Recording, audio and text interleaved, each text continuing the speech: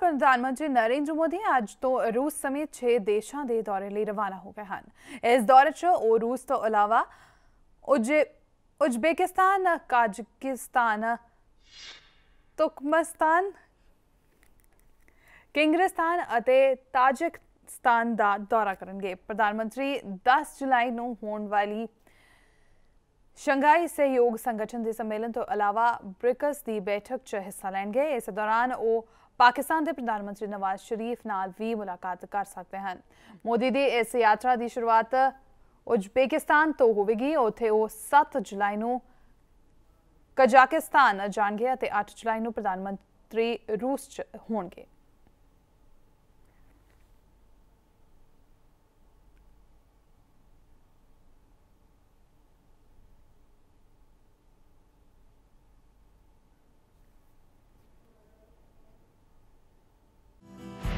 ਖਬਰਾਂ ਦੀ ਦੁਨੀਆ ਵਿੱਚ ਆਓ। ਸਾਡੇ ਨਾਲ ਕਦੇ ਵੀ ਕਿਤੇ ਵੀ ਜੁੜੋ।